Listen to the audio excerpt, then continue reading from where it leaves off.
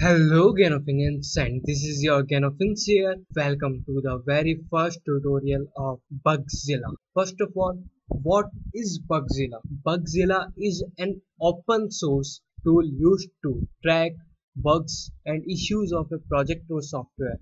It helps the developers and other stakeholders to keep track of outstanding problems with the product.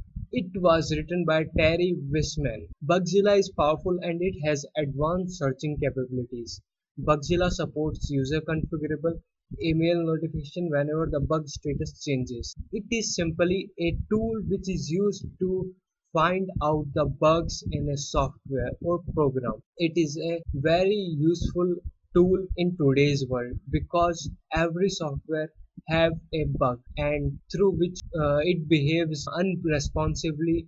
Bugzilla displays the complete bug change history. Uh, Bugzilla can be said as a important program or thing in today's world. It has complete security audit and runs under the Perl sprint mode. Bugzilla has integrated product-based granular security scheme that makes it more secure.